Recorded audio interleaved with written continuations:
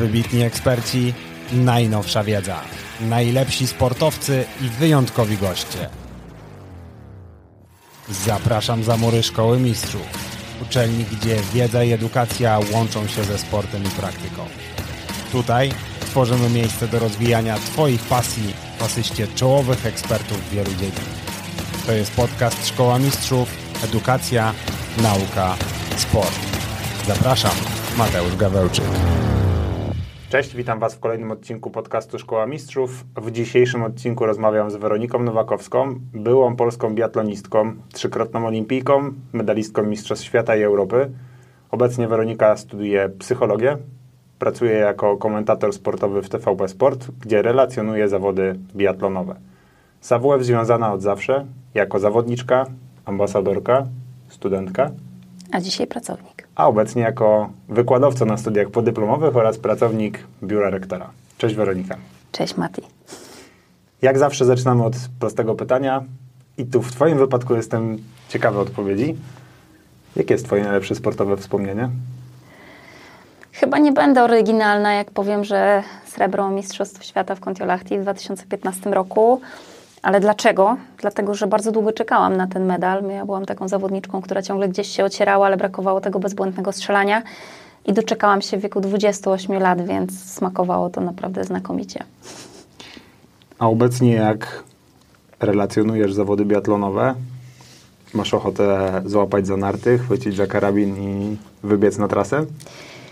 Jeśli pytasz, czy chciałabym wrócić do zawodowego to uprawiania już, sportu, wiesz, to nie. Aż tak mnie nie ponosi. Nie, wiesz co, bardzo brakuje mi. E, bardzo brakuje mi biatlonu, zupełnie nie brakuje mi rywalizacji. Myślę, że jak wielu sportowców, choć wiem, że też jest grupa, która ma zupełnie odwrotnie, zbrzydła mi trochę ta rywalizacja i bardzo cenię sobie takie środowiska, gdzie mogę właśnie bardziej kooperować, bardziej cieszyć się sportem. Wybieram inne formy aktywności ruchowej, takie na które nie mogłam sobie pozwolić, będąc zawodowym sportowcem i to mnie mega kręci.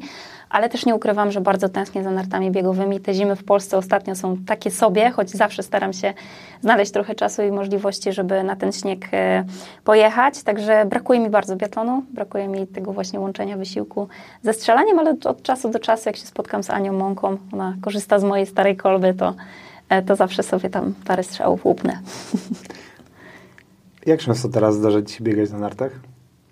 Kilka razy w sezonie, to zależy od e, pogody. Zawsze się bardzo nastawiam na ten okres świąteczno-noworoczny i bardzo często pogoda płata mi figle, chociaż w tym roku e, udało mi się, byłam w Kościelisku, także nawet w towarzystwie niektórych naszych reprezentantów miałam okazję potrenować. A nartorolki? Bo już wychodziliśmy z samochodu, widziałaś, że u mnie sprzęt jest przygotowany zawsze w samochodzie. Jak tylko jest pogoda, to staram się korzystać. Jak, jak jest u Ciebie? E, Szacun za to, że też próbujesz dyscypliny, w której pracujesz. Bardzo szanuję ludzi, którzy właśnie na własnej skórze próbują poczuć różne rzeczy, obojętnie w jakiej roli są. E, A jak wiadomo, pracujesz z sukcesami, z naszą reprezentacją. E, Wiesz co, jeśli chodzi o nartorolki, tak naprawdę w tamtym sezonie nie byłam ani razu. Biegałam bardzo dużo na łyżworolkach, bo jak wiesz, mam siedmioletnie dzieci i im była taka forma aktywności wygodniejsza, więc dużo jeździłam na łyżworolkach, ale w tym sezonie na pewno odpalę muchowiec i będę pewnie podobnie jak ty wozić sprzęt w samochodzie. To daj znać. E, Przyjdę pooglądać i podszkolić w technikach. Myślałam, że chcesz się ścigać. Ścigać nie, ale jakbyś miała kiedyś gorszy humor i chciała się pośmiać, to służę pomocą. Myślę, że nie, wielu osobom na muchowcu poprawiam humor. Mm, Zresztą pamiętam, jak debiutowałem na nartorolkach w okresie właśnie świątecznym. Też się nastawiałem na biegówki, ale jak sprawdziłem prognozy pogody parę lat temu i zobaczyłem, że raczej może padać niż padać deszcz niż śnieg i będzie raczej ciepło, to kupiłem nartorolki i myślę, że ten pierwszy raz na nartorolkach dostarczył wielu ludziom wielu, wielu niezapomnianych wrażeń. No, jesteś odważny, Nie wiesz, bo upadek na nartorolkach to jest jednak trochę inna, inny poziom bólu niż upadek na nartach, kiedy, kiedy po prostu spadasz na śnieg. No ale To nie znasz nie tej historii, ale ja zaliczyłem upadek na nartorolkach, zjeżdżając y, w dusznikach, gry. Nie. Tylko nie z samej góry z przekaźnika, tylko z połowy. No to widzę, że lubisz sporty Wchodzony ekstremalne. obojczyk, e, wiązozrost obojczykowo-barkowy pierwszego, między pierwszym a drugim stopniem, wtedy po raz pierwszy. I jeszcze wstyd się przyznać bez kasku. No To to był jedyny kiedy, raz, kiedy zapomniałem kasku, a byłem tak nastawiony, że pojeżdżę na tych nartorolkach, na tym... I postanowiłeś, że po płaskim to jest pase, także od razu trzeba się Na początku biegałem dół. po stadionie, ale któryś z zawodników albo z zawodniczek rzuciła, dobra, to chodź tam na małą pętelkę. No i zapomniałem, że to nie ma hamulców. Okay, czyli okazuje się właśnie, że to nie jest takie proste, jak mogłoby się wydawać. Nie jest. W ogóle nie jest proste. Dobra, to już ustaliliśmy. Wróćmy do tematu naszej rozmowy, czyli poniekąd Twojej kariery biatlonowej. Wielokrotnie byłaś blisko medalu na Igrzyskach Olimpijskich. Z wielu rozmów Twoich, czy to w prasie, czy w innych podcastach, można było usłyszeć wiele emocji związanych z tym wszystkim, co się wtedy działo. Jak teraz do tego podchodzisz? Dalej są emocje, jak, jak wspominasz? Wiesz co, każde igrzyska wspominam e, inaczej i moje wspomnienia są często inne niż e, ludzi, którzy obserwowali, bo pierwsze moje igrzyska olimpijskie ja się otarłam o medal na ostatniej strzelnicy, pomyliłam się raz, mogłam mhm. być pierwsza bądź druga, ostatecznie zajęłam piąte miejsce, ale wiesz, wtedy byłam młoda i myślałam sobie, że na kolejne igrzyska to ja już się przygotuję i po prostu tam już blacha będzie na pewno. I e, przez 4 lata zawsze mówię, że trenowałam, jakbym miała Soczi, Soczi wypisane na czole. Bardzo ciężko, z poświęceniami, tutaj celowo używam tego słowa. E, na, na maksa profesjonalnie, jak potrafiłam, sport był dla mnie numerem jeden.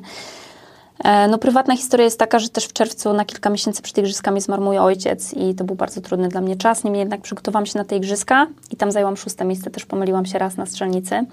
I osobiście, choć nie było to tak spektakularne jak Vancouver, uważam, że tam byłam najbliżej medalu. Byłam najlepiej przygotowana fizycznie, mentalnie.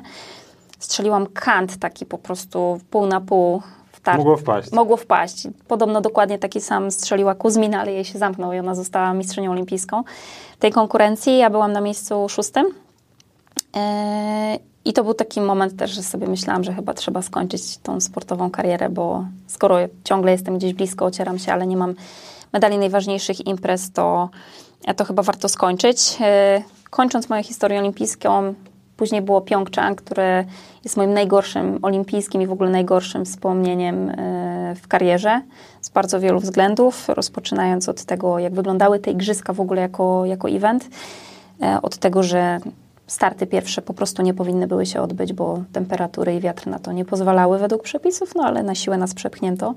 Więc ta rywalizacja moim zdaniem nie do końca była fair play, taka jak być powinna. Nie byliśmy dobrze przygotowani ani technicznie, z formą też nie do końca trafiliśmy, choć to, jak wyglądały nasze narty, po prostu sprawiło, że igrzyska były najgorszym startem w całym sezonie dla całej żeńskiej ekipy, więc e, widzieliśmy po prostu, że to jest coś, na co nie mamy wpływu, no ale trzeba było na tych dechach po prostu biegać. E, a później nastąpiła superkumulacja emocji, słynne, gdzie byliście i co widzieliście. Ja nie chciałem I później już się potoczyło. A, to tak tylko wiesz, zamykając temat, jeśli nie chcesz go ciągnąć. Nie, ja myślę, że już e, to było wielokrotnie wałkowane w różnych tak e, mediach i myślę, że nie ma do czego wracać, ale chętnie zadam Ci inne pytanie, a mianowicie dlaczego w tamtym czasie pokolenie biatlonistek, które wtedy rywalizowało na Igrzyskach Olimpijskich, było tak dobre i dlaczego teraz tak nie jest? Czy widzisz, bo, bo ewidentnie no, to był najlepszy czas w historii żeńskiego biatlonu w naszej dyscyplinie sportu dla Polskiego Związku. Co poszło nie tak, że nie mamy aż takiej kontynuacji?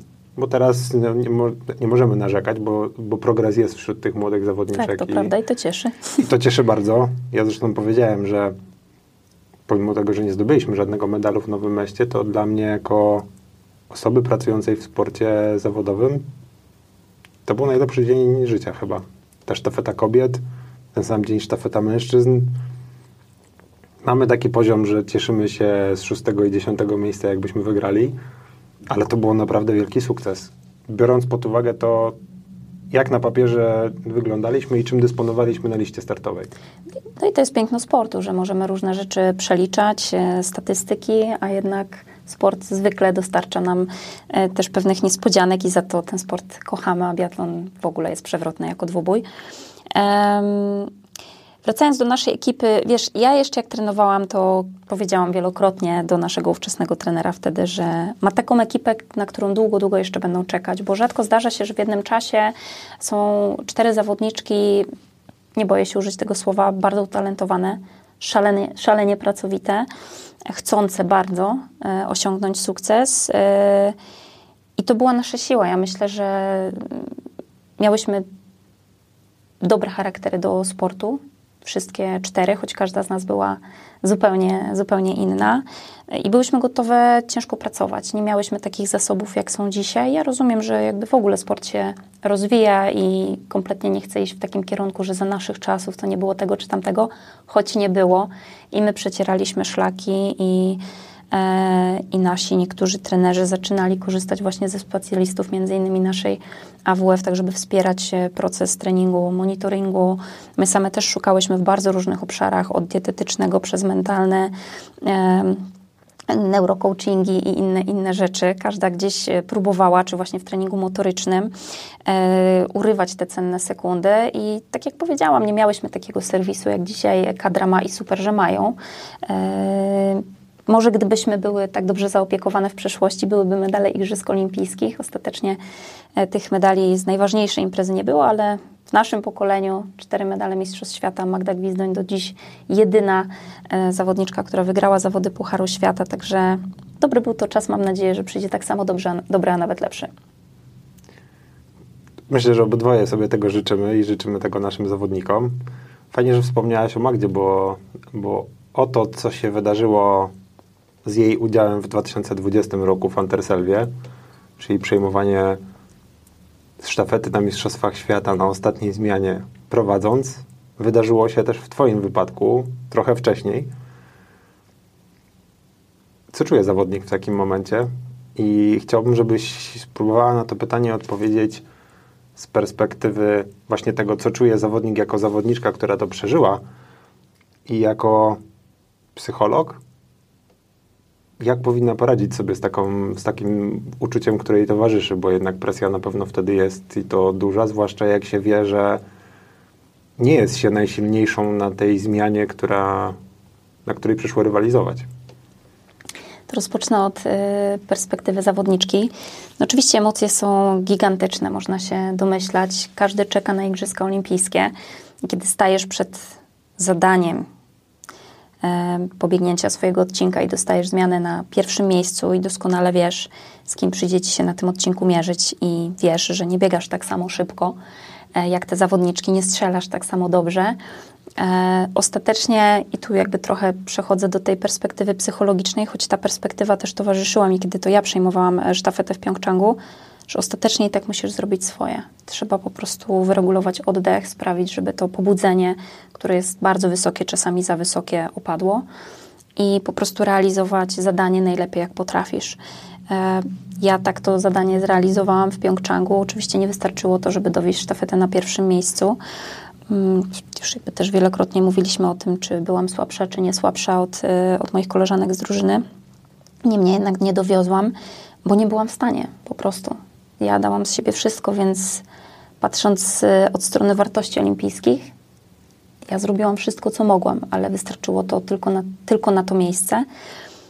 A co czułam jako komentatorka, bo ja akurat komentowałam bieg y, Magdy, to starałam się dać... Serwa 2020 Mistrzostwa Świata. Tak, dokładnie. Długo starałam wyczekiwany się... medal i byliśmy blisko. Tak. Dwukrotnie, bo przynajmniej dwukrotnie podczas tych Mistrzostw Świata, bo jeszcze Monika tak.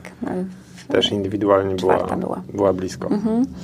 Więc y, jako komentatorka ja się, ja się starałam dać Magdzie to, czego ja nie dostałam, czyli maks wsparcia w trakcie tego wyścigu, tuż po wyścigu, przez social media i tak dalej. I wydaje mi się, że też e, moja historia i to, co ja przeżyłam, niestety, trochę też nauczyło środowisko e, tego, w jaki sposób zachować się, kiedy ktoś na ostatniej zmianie nie dowozi, bo to, co byłoby najgorsze dla drużyny, moim zdaniem, to, że po prostu będą osoby, które będą się bały występować na ostatniej zmianie, no bo na ostatniej zmianie po prostu biegają najszybsi, no, najlepsi. I jeżeli mamy równą drużynę, no to ktoś musi na tej ostatniej zmianie ostatecznie pobiec. I raz jeszcze powiem, że obojętnie jak zmiksujemy tą sztafetę, no nie przeskoczymy jakby pewnych rzeczy, nie zaczniemy jako sztafeta nagle biegać dwie minuty szybciej, po prostu. E, I, i myślę, że, że to jest jakby puenta tego wszystkiego, że, żeby rozumieć, na czym polegają sztafety i z jednej strony siła e, leży w czterech równych zawodniczkach.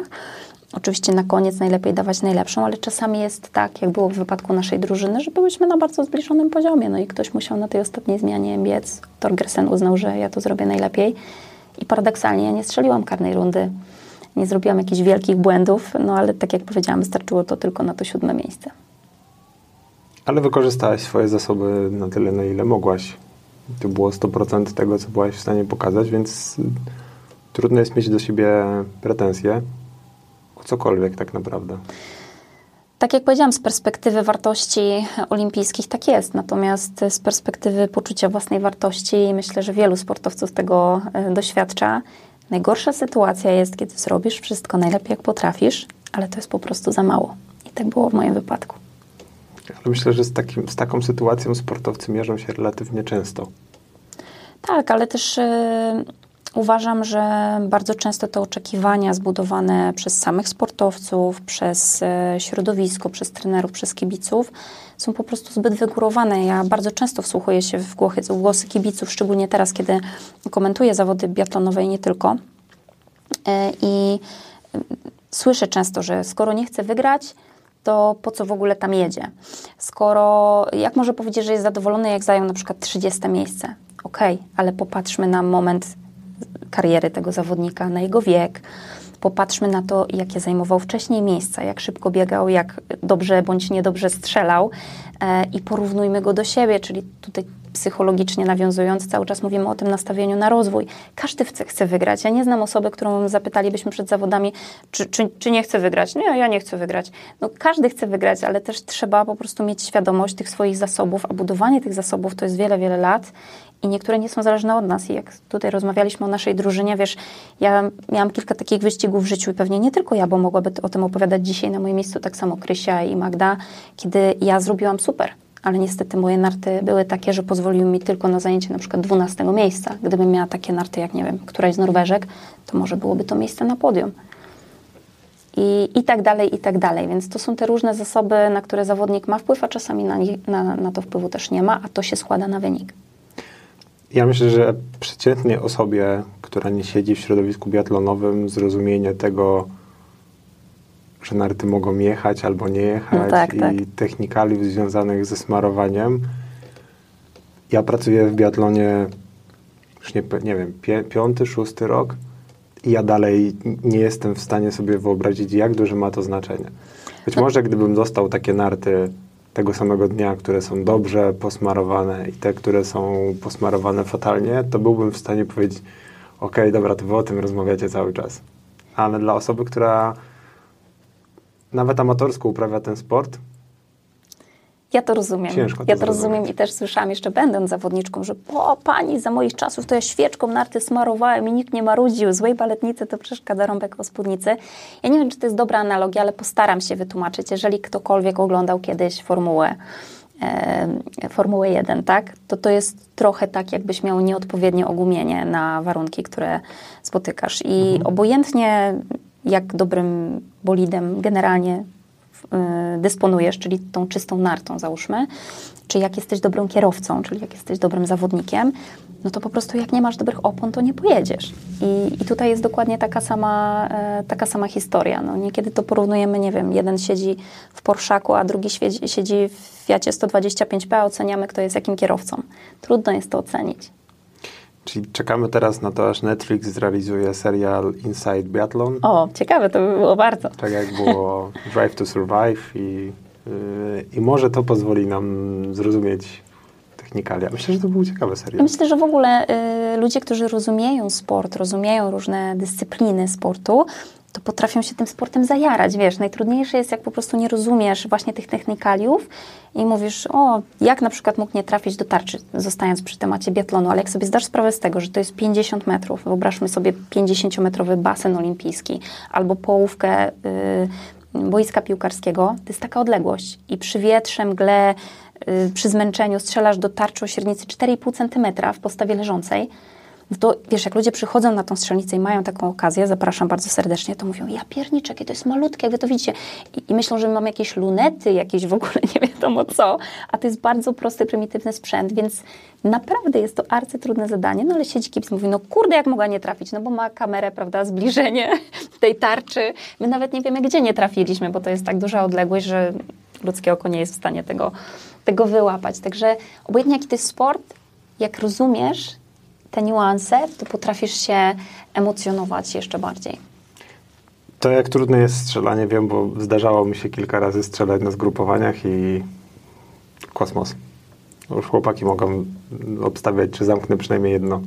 Wiesz co, ja ci powiem taką historię z moim bratem. Jak trenowałam, już byłam w reprezentacji, miał, miał taki zeszycik i zawsze tam wpisywał moje wyniki i e, uwielbiał mnie irytować jako starszy brat, wiesz, to jeszcze z dzieciństwa nam zostało. Pisał mi na przykład smsy, siema siostra, ile ptaszków dzisiaj zestrzeliłaś? Nie? Ile zabiłaś dzisiaj zwierzątek? I po prostu, wiesz, nie dość, że jesteś wkurzony, bo na, popełniłeś błędy, to jeszcze cię tam brat podkręca. Mm. I kiedyś, kiedyś wzięłam go na strzelnicę w Dusznikach Zdrowia, zaprosiłam go, mówię, no to chodź cwaniaku, nie? bo ja ci pokażę. Jak on to wziął, wiesz, i on w ogóle nie umiał stanąć z tym karabinem, bo zobaczył, że to jest takie ciężkie, że to w ogóle się wszystko rusza, że to on nawet nie jest w stanie w automat wycelować, a co dopiero w tarczę. Tak. On mówi, ty stara, ja nie wiedziałem, że to jest takie trudne. Ja mówię, no stary, a ja jeszcze mam tam, wiesz, 170 tętno i mhm. jestem po 10 kilometrach biegu.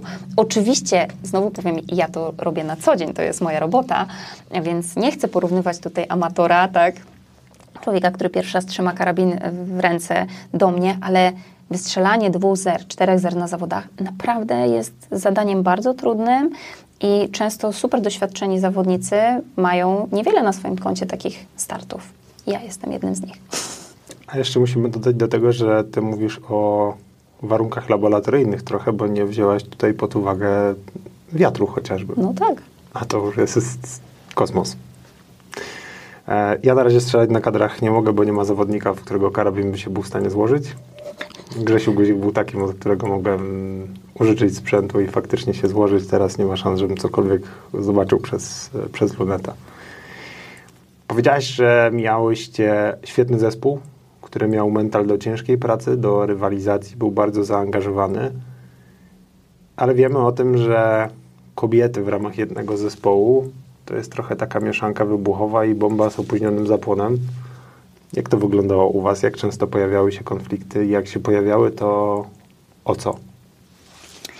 Wiesz co, ja w ogóle mam wrażenie, że jakiś taki dziwny mit yy, narósł wokół wokół tej naszej reprezentacji, że tam było tak ale ja nie mówię tylko ciężko. waszej. Nie, nie, okej, okay, jakby, ale ja, ja się spotykam czasami z tym pytaniem, nawet w takich kuluarowych rozmowach, E, oczywiście z perspektywy czasu ja pamiętam większość bardzo dobrych rzeczy. E, osobiście byłam skonfliktowana z jedną zawodniczką, chyba nie będę opowiadać o szczegółach. Natomiast e, ja uważam, że bardzo ważna w tym wszystkim jest rola lidera zespołu i tutaj myślę o liderze w trenerze w jaki sposób y, dzieli startami, w jaki sposób komunikuje różne rzeczy. Kobiety mają bardziej, wiesz, y, wysoką inteligencję emocjonalną i bardziej wyostrzone oko i ucho na różne rzeczy. Jeżeli trener na przykład do jednej zawodniczki zwraca się po imieniu, a do innych mówi po nazwisku, no to moim zdaniem to jest nie okej. Okay. Albo jeśli trener jednej zawodniczce odkłada y, odżywkę o jakimś określonym smaku, który lubią wszystkie i przychodzi druga i mówi, że też chce tą, a on mówi, że nie, bo ta jest dla tamtej. I tak jest zawsze. Wiesz, to są drobiazgi, można powiedzieć, ja pierniczę, ale problemy, no nie? Ale no jakby ma to znaczenie, albo nie wiem, jedna i druga jest przeziębiona, ktoś musi wystartować, żeby nazbierać punktów Pucharu Narodu, to jedna jest pod ochronką, a drugą się e, wystawia, nie? E, I tak dalej, i tak dalej. Więc tutaj ta rola trenera w pracy z kobietami jest super, super ważna i ja czytałam takie, e, to nie były pełne badania, e, bardziej e, takie, no, nie, nie były to pełne badania, natomiast dające pewien obraz. Kiedy zapytano trenerów, jakie ich zdaniem są najważniejsze kompetencje trenerskie, to oni w pierwszej, w pierwszej kolejności postawili na te twarde, tak? czyli tam znajomość fizjologii, prawda, techniki i tak dalej, podczas gdy zawodniczki zapytane o tą materię, wiesz, że kompetencje były na czwartym miejscu? Mhm. Najpierw jest po prostu, jakim ten trener jest człowiekiem, jak on komunikuje i tak dalej. I teraz, jeżeli trenerzy pracujący z kobietami nie będą mieli tych skilli, no to będą mieli kłopot po prostu i będzie się mówiło, że zawodniczki są złe, a są zawodnicy, którzy, y, trenerzy, którzy potrafią to y, okiełznać, natomiast trzeba po prostu rozumieć, co dla tej zawodniczki jest ważne. No i wszyscy jesteśmy ludźmi, wszyscy mamy swoje charaktery. E, ale ci, którzy najlepiej sobie e, będą radzić, pewnie też będą osiągać najlepsze sukcesy, bo trochę tak jest, że Jak zawodnik ci ufa, czy zawodniczka ci ufa, to pójdzie za tobą w ogień w tym, w jaki sposób trening konstruujesz, czy każesz jej startować, jak jest super fit albo mniej fit, e, czy weźmie na siebie jakąś odpowiedzialność za drużynę czasami, czy tego nie będzie chciała zrobić i tak dalej, i tak dalej. I ja uważam, że Tobias Torgersen jest świetnym przykładem trenera, który po prostu wie, jak to należy robić. Właśnie chciałem Cię zapytać, bo pracowałaś i z kobietami jako trener, i z mężczyznami. Widzisz różnicę w podejściu do prowadzenia drużyny? No I tak. ewentualnie kto, powiedziałaś już, że Tobias jest tym trenerem, czyli nasz aktualny trener żeńskiej ekipy. Jest tym, który sprawdzał się świetnie. A gdybyś miała tak generalnie wybrać trenera albo trenerkę do pracy z grupą kobiet, to której płci byłby ten trener? Wiesz co, ja nie wiem, czy bym chciała y, tak rozgraniczać płci. Ja myślę, że w ogóle we wszystkim, możemy tutaj zacząć dyskusję o parytetach, wszystkim tak naprawdę najważniejsze są kompetencje. Jeżeli te kompetencje masz, no to dla mnie to jest bez różnicy, czy to jest kobieta, czy to jest mężczyzna. Czemu to, czy statystycznie właśnie, wiesz, łatwiej jest się dogadać kobietą z kobiet, kobietą z kobietą, czy jednak kobietą z mężczyzną? Mm, ja na, na różnych, ja, ja, miałam tylko jedną e, mhm. kobietę, trenerkę, Nadię Biłową i to był początek mojej e, zawodowej kariery. E, no i była to bardzo trudna praca, e, bardzo wymagająca też i fizycznie, tam nie było, że boli. Z drugiej strony dla mnie na tamtym etapie była też bardzo inspirującą osobą, której super ufałam, e, ale miała czasami trenerka takie... Mm, a to jest podcast, mogę powiedzieć, takie odpały, nie? że miał być na przykład dzień wolny, ale coś tam jej się nie spodobało i nagle wymyśliła, że będziemy biegać jakieś uphile, nie? Uphile, czyli po mhm. prostu cały czas pod górę przez 8 kilometrów, zwożą cię na dół i znowu biegasz 8 kilometrów cały czas pod górę, nie? Więc to były takie rzeczy z perspektywy e, z samej budowy jakby treningu, mikrocyklu, makrocyklu bezsensowne, nie? Wynikające po prostu gdzieś z emocji, które, które grały. No właśnie, więc, więc jakieś takie, takie rzeczy pamiętam na przykład z pracy z trenerką, ale z drugiej strony też wiedziała, jak pogadać, e, potrafiła nas docisnąć po prostu do, do, do, do zola, do, do podłogi. E, I, I dla mnie na tamtym etapie kariery to było bardzo fajne. E, ja żałuję na przykład, że tak krótko pracowałam z trenerem Tobiasem Torgersenem. Po pierwsze, bardzo pomógł mi w strzelaniu i było widać w tym ostatnim sezonie, że ja strzelałam lepiej niż kiedykolwiek, podczas gdy od innych trenerów, którzy na strzelaniu się po prostu nie znali, mówię to otwarcie, słyszałam, że jakby lepiej się już nie da strzelać po prostu, nie? E, więc ja żałuję, że nie mogłam trenować dłużej z Torgersenem. Ale kończąc, nie rozgraniczałabym, że lepiej trenować z kobietą, lepiej trenować z mężczyzną. Wszystko zależy od człowieka i od tego, jaką ma też osobowość, bo to jest też bardzo ważne, jeżeli chodzi o trenera. Czym różniła się Weronika z początku swojej kariery i z samego końca? Oj, wiesz co, no jakby już abstrahując od po prostu czystych umiejętności technicznych, hmm. taktycznych, strzeleckich Możemy i tak dalej. Możemy skupić się na tym podejściu, podejściu do uprawiania sportu, do tego jak radziłaś sobie z emocjami, czy to w okresie treningowym, czy w ramach samych startów. Myślę, że to, co to, co jest fajne, że i zaczynając i kończąc y, moją przygodę w zawodowym sporcie, ja bardzo kochałam to, co, to, co robię. Y, w środku mojej kariery były momenty, że żygałam, przepraszam, e, tym biatlonem.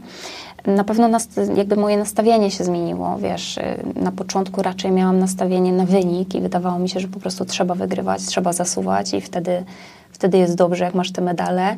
Dopiero właśnie w trakcie mojej pracy nad, nad mentalem zrozumiałam, że tylko kontrolując to, co jest kontrolowalne, a więc swoje wykonanie, swoje podejście, e, mogę robić progres, a robiąc progres pewnie przyjdą wyniki, ale ostatecznie trzeba skupić się na swoich umiejętnościach i ich rozwoju niż na wygrywaniu bądź przegrywaniu, więc to jest taka pierwsza różnica. Mm, też jakby falowała kwestia moich priorytetów życiowych przez y, czas kariery. Jak ja wchodziłam do reprezentacji, dla mnie sport był absolutnie najważniejszy. Ja bardzo dbałam o to, żeby też była ta druga ścieżka i studiowałam, natomiast wiesz, deklarowałam po trzy przedmioty czasami w roku, jak to był rok olimpijski, bo wiedziałam, że więcej nie zrobię, bo teraz był najważniejszy dla mnie sport. Kiedy kończyłam karierę, już byłam też mamą dwójki dzieci, wiesz, miałam skończone studia, jedne, kończyłam drugie, y, więc taka, miałam wrażenie, że kończyłam e, zawodowy sport, czując się nie tylko sportsmenką, a gdybyś mnie zapytał jako dwudziestolatki, kim ty jesteś, Weroniko, to ja bym ci powiedziała, że po pierwsze jestem biatlonistką, po drugie jestem sportsmenką, po trzecie jestem Polką reprezentującą e, kraj, tak? E, I tak dalej, nie? Że jakby większość mojego kawałka tożsamości była w obszarze sportowym, a kiedy kończyłam karierę, to już było inaczej. Stres na pewno też, no jakby przez te lata nauczyłam się z, w jakiś sposób z nim dealować e, i, i lepiej to opanowywać, bo na początku po prostu było mi ciężko i chyba każdy przez to po prostu musi przejść, tak mi się wydaje. Wspomniałaś, że w trakcie kariery równocześnie studiowałaś, studiowałaś na WF-ie. Były wtedy, czy w tamtych czasach wtedy funkcjonowały programy IPPS, czy jakieś inne, bo teraz tych programów trochę jest, poza standardowym iOS-em czy IPPS-em studenci mogą być wcieleni w program Narodowej Reprezentacji Akademickiej i tak naprawdę mogą mieć zajęcia indywidualne z wykładowcami chciałbym nawet powiedzieć, że o dowolnej porze dnia i nocy, jeżeli tylko uda im się dogadać tak z, z prowadzącym. Wszyscy są zadowoleni, bo wykładowca ma to liczone osobno, jest to dla niego dodatek do pracy. Student, zawodnik może realizować treści programowe w dowolnym momencie, kiedy jest to dla niego wygodne i dostosować trochę ten harmonogram studiowania do planu treningowego, okresu przygotowawczego. Jak to w Twoich czasach było? Za moich czasów padło to magiczne. W końcu musiało. E, wiesz co, my nie mieliśmy aż tylu programów. Był program iOS i IPPS i ja na ten IPPS e, się załapałam i uważam, że w ogóle na tamten czas, e, wiesz, mówimy o latach 2010-15, to, było, to był absolutnie rewolucyjny program i tutaj AWF Katowicki był prekursorem. Ja nawet przez po, prosto po maturze poszłam na AWF Wrocławski, gdzie po pół roku zrezygnowałam, bo to po prostu było niemożliwe, żeby studiować i, i trenować jeszcze taką dyscyplinę jak ja. E, a przypomnijmy, że 250 dni w roku poza domem? Tak, tak. Kiedyś też nie było takich warunków, wiesz, w Polsce do trenowania nie było tylu, tylu rolkostrat, fajnej jakości strzelnic, gdzie można było latem więcej trenować. Mhm. My po prostu cały czas siedzieliśmy za granicą, więc wiesz, ten program tutaj stworzony y, olbrzymią dawał szansę ta możliwość deklarowania przedmiotów e, we własnym tempie, gdzie tak jak powiedziałam, ja, ja w ogóle studiowałam 10 lat i ja to w ogóle nie wstydzę się e, o tym mówić, mówię to bardzo często i głośno, bo wiem, że jest takie parcie czasami e, młodych sportowców albo ich rodziców, którzy przychodzą na pierwszy rok studiów, zawodowo uprawiają sport, i marzą o tym, żeby zamykać rok w rok. Nie zawsze się to daje, jeżeli jest bardzo dużo tej absencji. Oczywiście to zależy też od dyscypliny, którą uprawiasz, bo jeżeli uprawiasz lekkoatletykę, którą możesz trenować w dużej mierze tutaj nawet e, na katowickiej mhm. AWF, czy pływanie, czy nie wiem, podnoszenie ciężarów, no ja akurat uprawiałam taki sport, który powodował, że tej absencji było bardzo dużo i tak spotkać mnie na uczelni to można było, wiesz, od końca marca do połowy maja, a później to ja tutaj tylko bywałam, ale wiesz, ciągle mogłam te studia, jak ja mawiam, kulać do przodu i bardzo to sobie cenię. I super mnie to też, wiesz, nauczyło zarządzania własnym czasem, własną energią, właśnie takiego określania priorytetów, co teraz jest ważne. To było trudne też zadanie i nadal jest, nawet przy tych wszystkich super programach, bo zawodowy sport to jest naprawdę olbrzymi wysiłek. Po prostu, wiesz, eat, sleep, train, repeat, nie? I, i, I, trudno jest to wszystko wpleść jeszcze czas, nie tylko na odbycie tych zajęć, ale też no, musisz się przygotować na te wszystkie zaliczenia, egzaminy, kolokwia i tak dalej. I tego ci nikt nie podaruje, ale ciągle jest szansa, żeby to, żeby to robić, tylko trochę wolniej. I ja bardzo, bardzo zachęcam sportowców do tego, żeby to, e, to robili, bo ja się szybko odnalazłam po, po zakończeniu e, kariery zawodowej ale między innymi zawdzięczam to temu, że miałam takie poczucie, że kończąc, ja jestem zasobna nie tylko w sukcesy sportowe, te, które osiągnęłam i te, których nie osiągnęłam, nie tylko w umiejętności no nie wiem, chociażby radzenia sobie ze stresem, których też nabyłam poprzez bycie sportowcem, ale też mam studia skończone. Ja też y, kończyłam licencjat na Uniwersytecie Wrocławskim pedagogiczny, więc tutaj skończyłam y, też wychowanie fizyczne z edukacją dla bezpieczeństwa i wiedziałam, że ostatecznie jakby spokojnie mogę iść do jakiejś roboty, mam, mam dokument, mogę robić studia podyplomowe po, po osiągnięciu tytułu magistra, więc miałam takie poczucie, że jakby dalej mogę się rozwijać, a nie muszę zaczynać wszystkiego od początku. Myślę, że wielu, wielu sportowców ma problem z tym, żeby odnaleźć się po zakończeniu swojej kariery i to nie tylko dlatego, że często zapominają o tej edukacji, która w trakcie tej kariery dobrze by było jednak o nią zadbać, tak jak ty tak jak ty o nią zadbałaś, Ale często problemem dla nich jest to, że przez 15 lat, może więcej, ktoś układał ich harmonogram dnia. Mieli powiedziane, o której godzinie trzeba wstać, o której jest rozruch, o której jest śniadanie, o której jest pierwszy trening, drugi trening, pozostałe dwa posiłki. I nagle kończą karierę i nie ma kogoś, kto ułoży im plan dnia. Część z nich popada w depresję, część nie potrafi się w ogóle odnaleźć w nowej rzeczywistości. No, ty nie mogłaś sobie nawet na to pozwolić, bo będąc mamą dwójki dzieci, nie było możliwości, żeby ten harmonogram dnia nie był w jakiś sposób e, usystematyzowany już i być może to był też e, duży plus w twoim przypadku. Ale ty od samego początku wiedziałaś, co chcesz studiować? Czy to było takie trochę poszukiwanie swojej drogi i czy już ją znalazłaś? Wiesz co, jak mam być szczera, to jak zdawałam maturę, a ja byłam bardzo dobrą uczennicą e, i powiedziałam, że idę na AWF, to moja nauczycielka polskiego tak, tak po czole pukała się i mówiła, naprawdę chcesz być magistrem od fikołków? A ja mówiłam, nie od fikołków, tylko od, od przewrotów, pani profesor. Wiesz, to, było, to była najtrudniejsza decyzja. Czy priorytetem przez najbliższe lata będzie dla mnie sport, czy priorytetem będzie studiowanie? I ja nie ukrywam, że ja wybrałam uczelnię, pod to, co było dla mnie w tamtym czasie najważniejsze. Ale nie powiedziałam sobie, że skoro nie mogę iść na przykład na PWST, o, czym marzyłam, czyli Państwową Wyższą Szkołę Teatralną, e, skoro nie mogę pójść na filologię francuską, o której całkiem serio myślałam, no bo nie mogę mieć takiej absencji będąc na takiej mhm. uczelni, to wybiorę uczelnię, która pozwoli mi mimo wszystko rozwijać się również w tych sferach e, edukacyjnych, zdobyć jakieś e, doświadczenie i wykształcenie i jednocześnie robić to, co jest dla mnie w tym momencie najważniejsze. E, absolutnie dzisiaj nie żałuję. E, super też e, studia na AWF-ie wsparły moją sportową karierę, bo wiesz, taka świadomość tego, co dzieje się jakby w kontekście biochemii organizmu, fizjologii organizmu. Ja wiem, że to są przedmioty, których często studenci nie lubią, ale ja byłam mega zajarana. Ja po prostu uwielbiałam słuchać o fizjologii, o tych wszystkich procesach, które się dzieją. I fajne to było, bo ja bardziej rozumiałam ten trening. Ja nawet przychodziłam do trenera i mówiłam, dlaczego robimy tak, nie? Bo wiesz, chciałam to zderzyć jakby z teorią, którą gdzieś, e, gdzieś miałam. No, trener to czasami też traktował jako e, brak zaufania, dlaczego ja w ogóle śmiem pytać. No jakby pytałam z ciekawości czystej. Niemniej e, to jest, to jest super ważne, żeby, żeby robić coś jeszcze. Wiesz, my mówimy o sytuacji, gdy ktoś kończy zawodową karierę po 15 latach bycia w zawodowym sporcie. A co z tymi, którzy są w trakcie? Są tuż przed, y, przed szczytem i nagle zdarza się kontuzja, która ich wyklucza. My mieliśmy takiego kolegę w kadrze, który okazało się, że ma chore serce i musi założyć rozrusznik serca i po nim po prostu nie mógł już y, zawodowo mhm. uprawiać sportu. Wiesz, chłopak, który, któremu zaczynała kwitnąć ta sportowa kariera. I takich historii jest multum. I warto właśnie, żebyśmy my, i tutaj już jakby trochę psychologizuję, budowali taką wielowymiarową tożsamość, czyli ja, kim jestem, oprócz tego, że jestem tym sportowcem, bo to jest rola, która nie jest nam nadana na całe życie, tylko na pewien czas. A sport to jest tylko kawałek życia, a życie to jest dużo więcej. I fajnie znaleźć sobie tam takie obszary, gdzie też będziemy się dobrze czuć.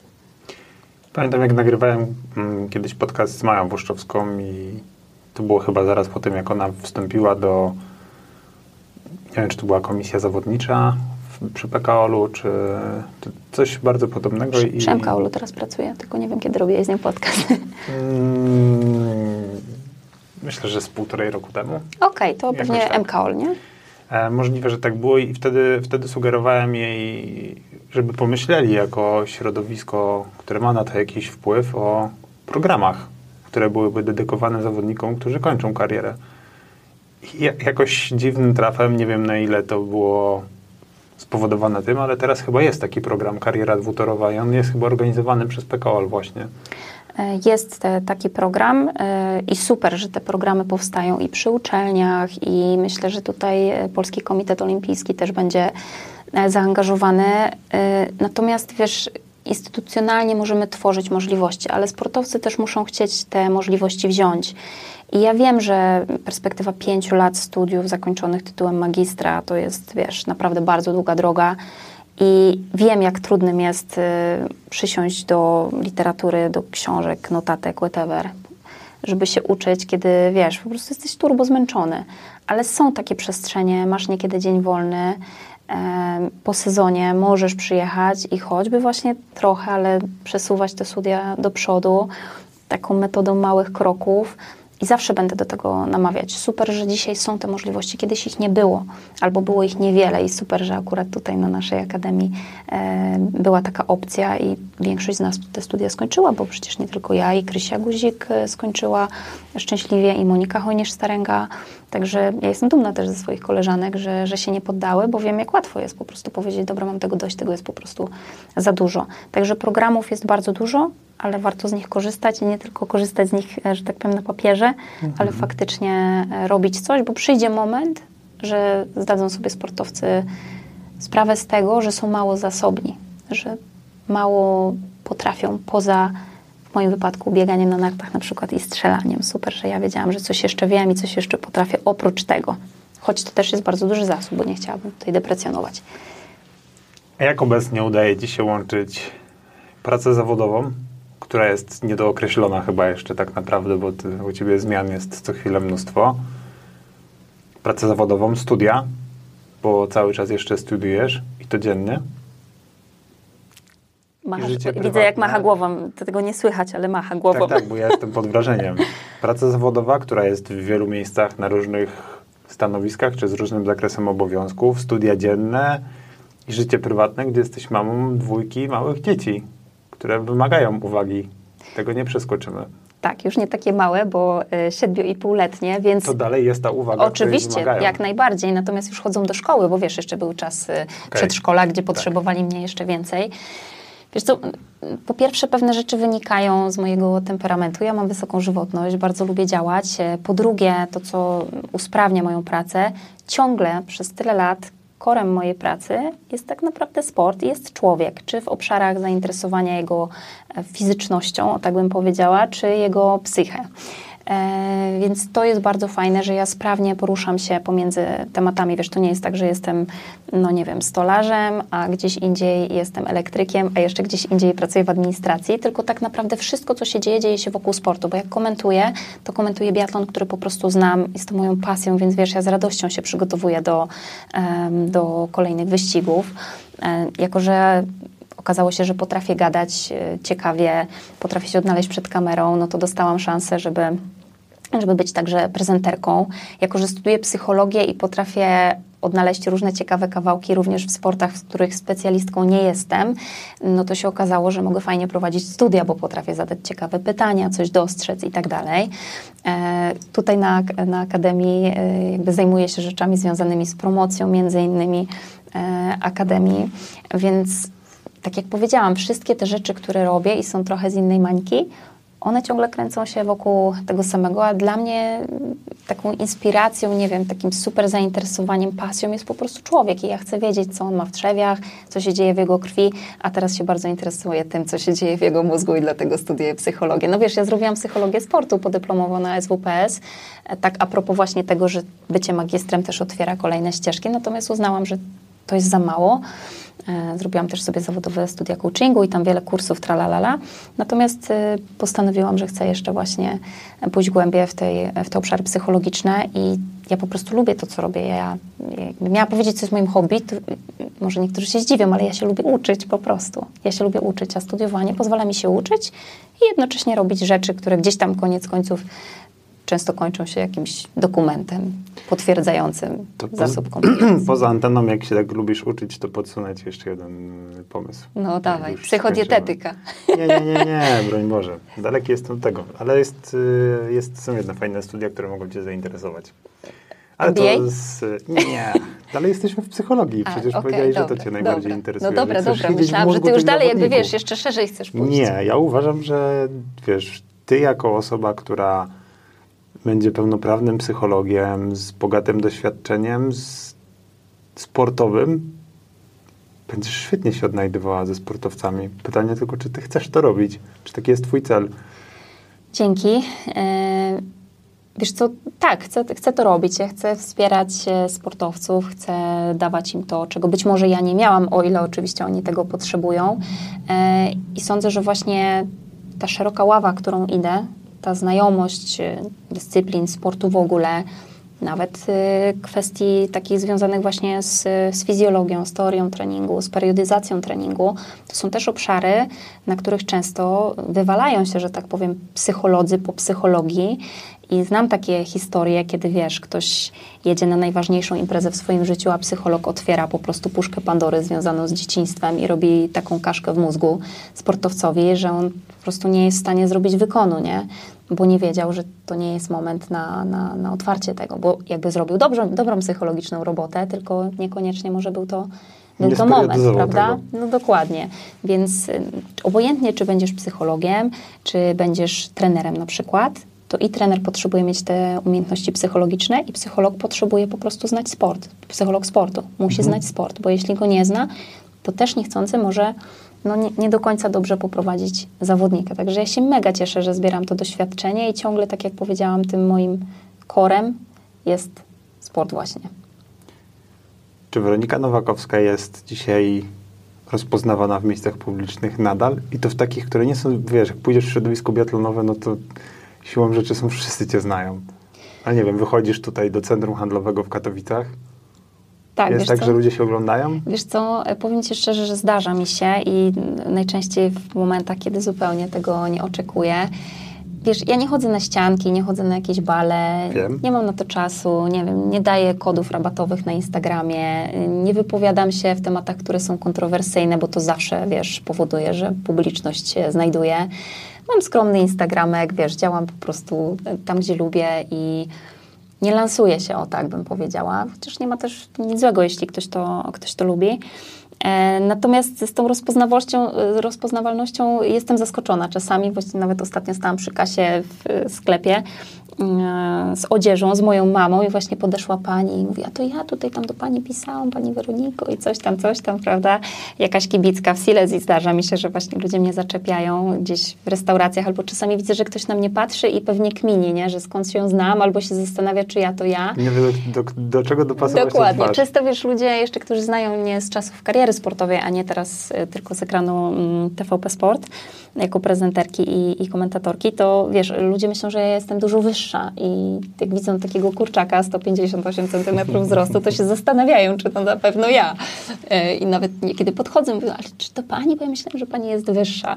Więc e, wiesz co, zdarza mi się, że mnie rozpoznają ludzie. Jak ktoś e, interesuje się sportem, to, to pewnie wie, że ja, to ja. Gdyby ktoś chciał się z tobą jakoś skontaktować, to za pomocą których mediów albo której platformy ma największą szansę na to, że odpowiesz?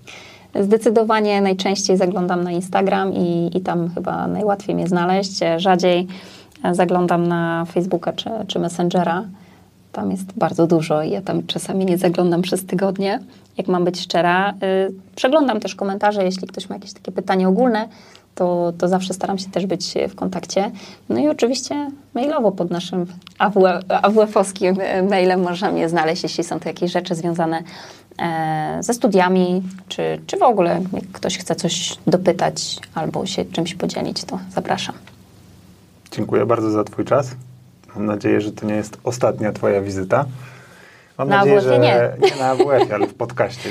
Marzy mi się, żebyśmy kiedyś się spotkali i porozmawiali o tym, jakie to fajne medale przywieźliśmy z Mistrzostw Świata albo z Igrzysk. Bardzo trzymam za to kciuki i naprawdę wierzę w to, że, e, że ten medal Igrzysk Olimpijskich, poza oczywiście medalem Tomasza Sikory, ale może u kobiet w końcu padnie. Czekaj, czekaj, bo to Anterselva tam było dwa razy czwarte? No to Trzeba się poprawić tylko jedno, bo igrzyska znowu są w tym samym miejscu. Tak, tylko w sensie... zawsze, zawsze to jedno oczko wyżej jest najtrudniej. Im jesteś, ja wyżej, w, im jesteś wyżej w tej drabince, tym trudniej o progres, nie? Ale bardzo trzymam za to kciuki i mam nadzieję, że już na najbliższych igrzyskach zawsze kochaliśmy Anterselwę jako polska reprezentacja, więc to będzie naprawdę świetne miejsce na rozgrywanie igrzysk. Ja osobiście bardzo tęsknię za igrzyskami w Europie po tych ostatnich azjatyckich i letnich i zimowych. Myślę, że sportowcy też bardzo się na to cieszą. Dziękuję bardzo za Twój czas. Do zobaczenia. Dzięki. Cześć.